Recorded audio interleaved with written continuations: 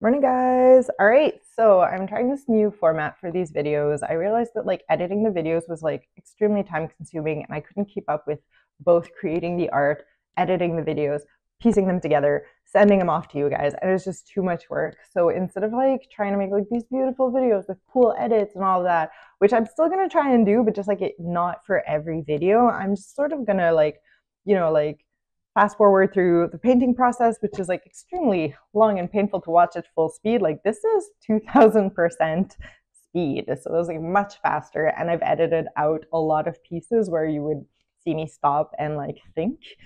So, so this is like accelerated version. And I figured that if I am speaking through you instead of like writing down the text, it's going to be more engaging for you and it's faster for me to edit. So I'm going to try this new format and I'm going to be um, doing a lot more edits. I'm going to be refining the style. So bear with me. It's going to be a little while. At least you're getting the content. You can see the work. You can see what went into the pieces. And then throughout a couple of edits, I'll be figuring out, figuring out my edit style. And I think it's going to come together nicely. And then you guys are going to have some cool updates that are going to be interesting to like watch, not just suffer through. and then uh, yeah, and then this is going to be more fun for me too because I can stop freaking out about the amounts of edits that I've accumulated and then just focus on the work.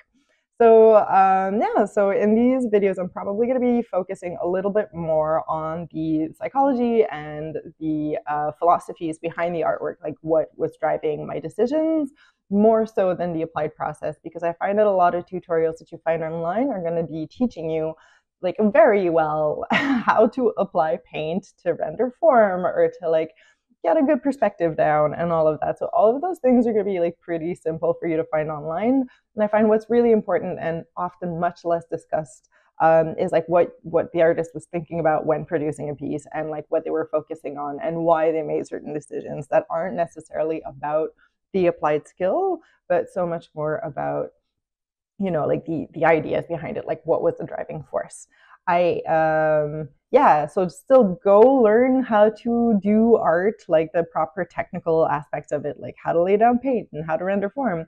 But uh, i also think that like really what helps define a style and find your voice as an artist is like a super important part of it. And i think it's probably the least talked about because it's still very esoteric like people don't know how to communicate that right so yeah, to begin with this artwork specifically, I find that a lot of the things that I struggled with when I started off was that I was really good at characters, but like environments and entire scenes as such was still a weakness for me.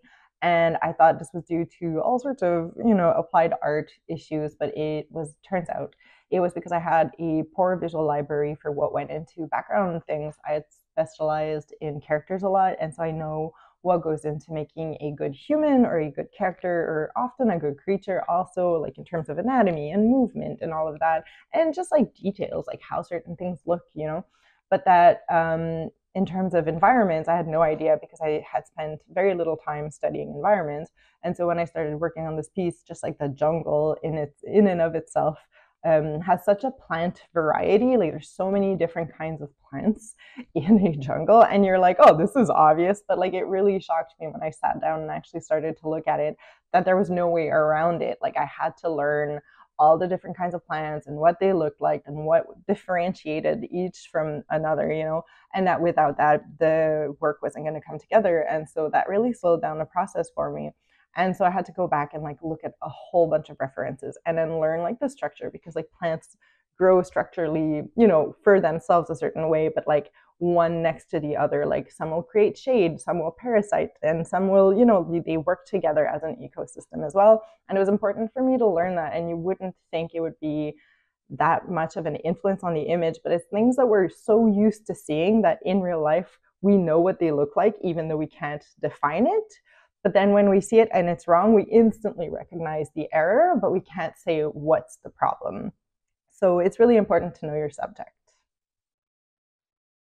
All right, so this is pretty much where I'm going to end this first video. It's a bit shorter than the ones I intend on doing, uh, but I understand that like going from like non-spoken video to spoken video is going to change the entire watching dynamic.